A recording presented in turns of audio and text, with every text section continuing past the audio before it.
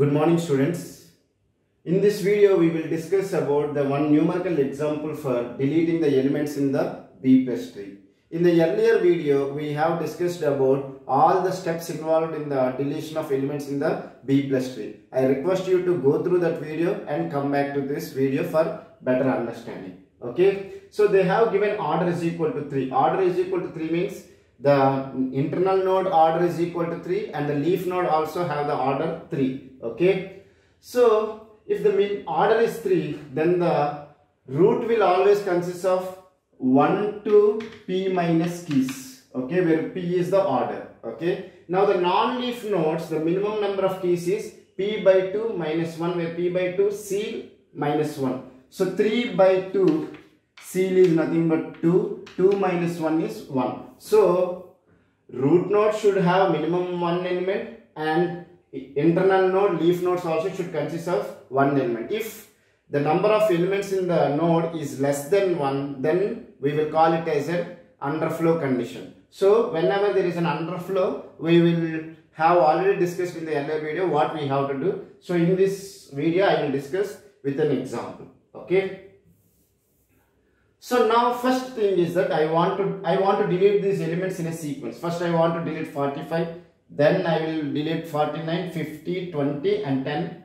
So first whenever we are deleting the elements from the B plus tree, we should be very careful. Why it is that some elements, suppose let's take that 45. 45 is there in the leaf node and also it is there in the root node. Okay. Is it clear? Similarly, if you take 49 is there in the leaf node and also it is there in the internal node. So, then you can ask me, sir 45 is there here and also here. Then if you are asking me to delete 45, which element I should delete? Whether the element which is there in the leaf node I should delete or I should start from the root. Remember the point, always you should start deleting from the leaf node. Okay. Then first you delete this one, then you delete it okay so let me explain so first where the 45 is there 45 is there here okay in the leaf nodes now if i want to delete 45 it will become an underflow condition because already one element is there. The minimum number of elements is only one. If i delete this element it will become consist of zero number of elements okay. Then we have this already discussed that either we should borrow from the left sibling or we should borrow from the right sibling. If you consider this node, it does not have any left sibling. So we should borrow from the right sibling. Can we borrow from the right sibling or not? We need to check. Okay. The right sibling consists of two elements. The minimum number of elements it should have only one. So it is having more than the minimum number of elements. Then it can give me element to the its left sibling. So let me write only this part. I have 49. If I delete 45, it will be empty. And then I have 49 and 50. So I want to borrow this node want to borrow from its right sibling. So what is the element it can borrow? It can borrow only the smallest element from its sibling okay so here you have 49 and 50 the smallest element is 49 so it will borrow the 49 if it is borrowing first this 49 will go here and this 49 will come here. So it will looks like 49 49 as it has given one of its element it will have only one element which is 50 okay? So now if you see that whether it is following the b plus property what is the b plus property? If this is 49 the element should be less than 49 should be there in the left sibling okay? In the right sibling sorry in the right subtree the element should be greater than 49 greater than or equal to 49 should be there in the right subtree. In the left subtree the elements which are less than 49 should be there. Whether it is satisfying no. Because 14 this one is equal to 49 so it is not following the b plus tree. Then what should I do? If I replace with 50 at the parent node,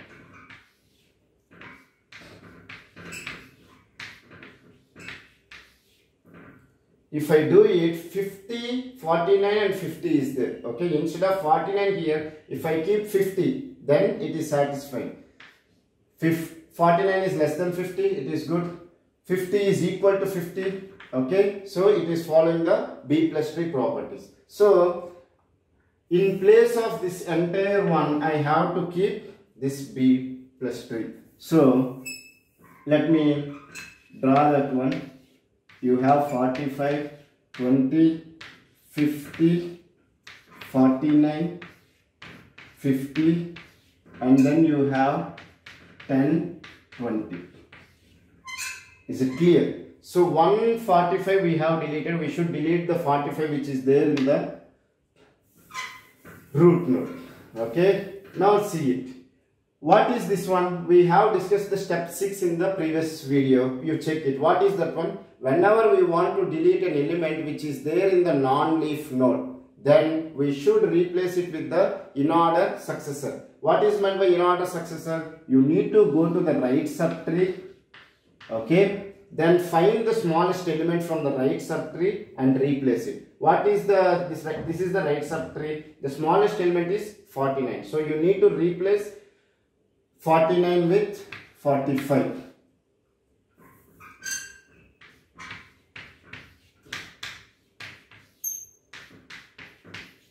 So after replacing it, you will have this one.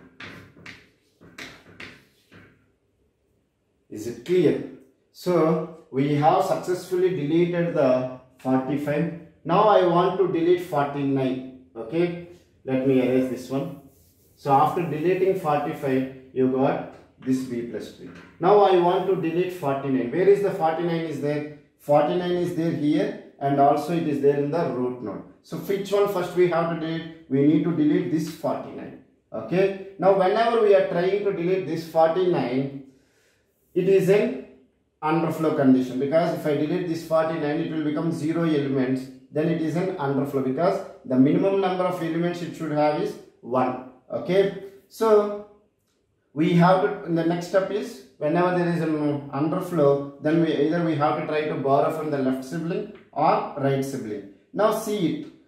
Does not have left sibling so it cannot borrow from the left sibling. Now come to the right sibling. Right sibling also have minimum number of elements. If it is having more than the minimum number of elements then only it can give one element to the its sibling. With that uh, that scenario we have discussed while deleting the 45 now this is not possible because it is already having the minimum number of elements. It cannot borrow. So if you see the step 3 in the previous algorithm, we have said that when we are not able to borrow from the left or right sibling, we have to merge the left sibling or with the right sibling and the corresponding entry should be deleted from the parent node. Okay. So here what I have to do, I have to merge the 49 and 50. That is the one step. And the step 4 says that the corresponding entry from the parent node also should be deleted. Then how it will looks like, you have 49, you have 20. As we have deleted the corresponding entry, 50 we have deleted from the parent node, it will be empty. Okay. Then you have 10 and 20. To this one, we will have 50. Is it clear? Because 49 and 50 will be there and we have because after merging it will be 49 and 50 okay? And we need to delete 49 we have deleted. Now why I am keeping like this I don't know 50 where it will come. Whether it will come to the left of it or it will come right of this one. Okay? So that's why I am keeping like this. Now if you see that now it becomes an underflow condition because it is having less than the minimum number of elements. Then what it has to do? It will try to borrow from the left sibling. It does not have a right sibling so obviously it has to depend on its left sibling. Whether left sibling can give one element to this one? No because it is already having the minimum number of elements. Okay then what should we do?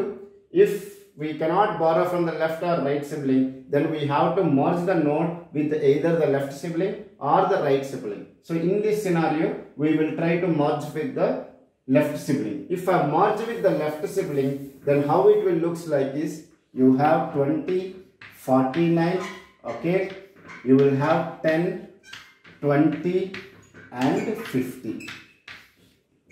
Is it clear? Because we have merged these two.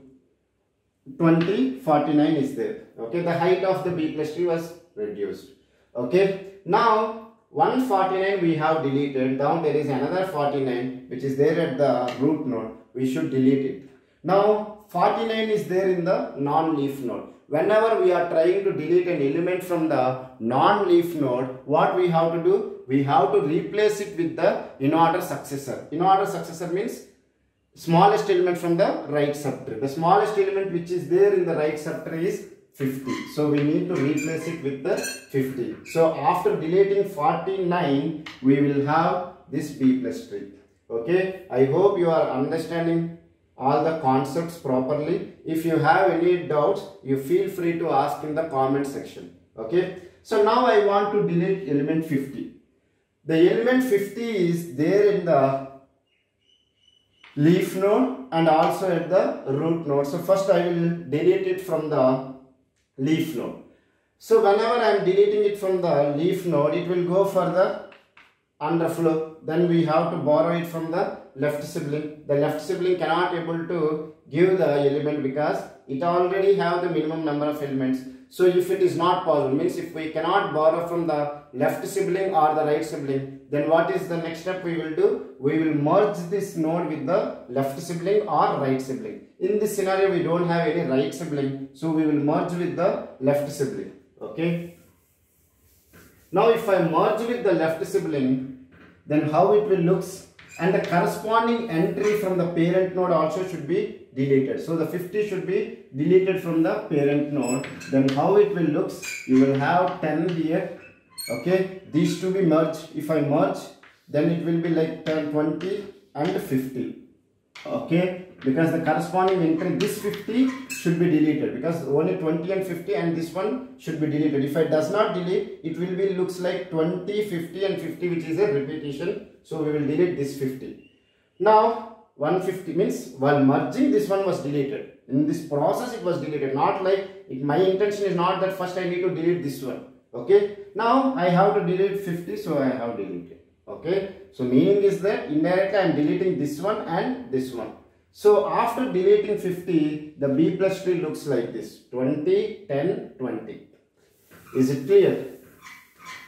Now i want to delete the 10 okay if i want to delete the 10 it will have less than the minimum number of elements okay because if i delete 10 it will become 0 okay 0 number of elements so then what we should do? Either we have to borrow from the left sibling. Left sibling is not there. We will try to borrow from the right sibling. Right sibling already have the minimum number of elements so it cannot give. So then what is the next step we have to do? We have to merge the element with the right sibling because it does not have left sibling. So we will merge this node with the left sibling and the corresponding entry from the parent node should be deleted. Then it will looks like 10 and 20 and we sorry we are sorry sorry we are trying to delete the 20 okay when we are trying to delete the 20 the 20 is there in the parent node and also in the leaf node it is there in the parent node and also it is there in the leaf node so as it is there in the leaf node first we have to try to borrow it from the left sibling it is not possible so we will merge the 10 and 20 and the corresponding entry should be deleted from the parent node. So then it will looks like 20 and 10 and 20 and 20 you need to delete. It will looks like this. So the height of the B plus tree is further reduced. So next I want to delete 10. Okay. Only one element is there. So we have to delete it. Okay. Is it clear? So the, now the B plus became empty. You should not think about what is the underflow all these things because only one element is there. If you delete that one also it will become the empty b plus. Okay, I hope you have understood how I deleted all the five elements from the given b plus. Okay, thank you so much.